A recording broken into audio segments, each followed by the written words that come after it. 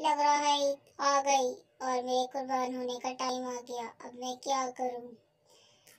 मैं तो क्या करूँ? मेरी कोई फरियाद नहीं सुनेगा कसाई आने वाला है। अब मैं क्या करूँ?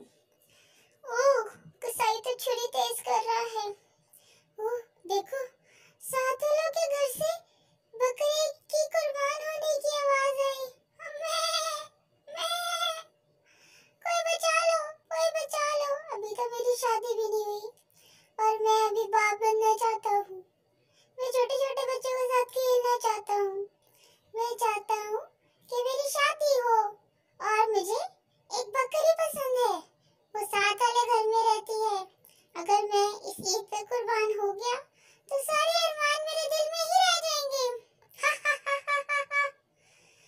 अरे तुम कौन हो मैं भी बकरा हूँ।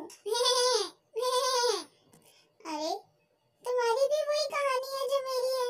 हाँ मुझे भी आज मंडी से खरीद के लाए हैं और मैं भी कुर्बानी के लिए आया हूँ। अरे, ये कुर्बानी तो अल्लाह की राह के लिए होती है तो हमें खुशी खुशी कुर्बान होना चाहिए।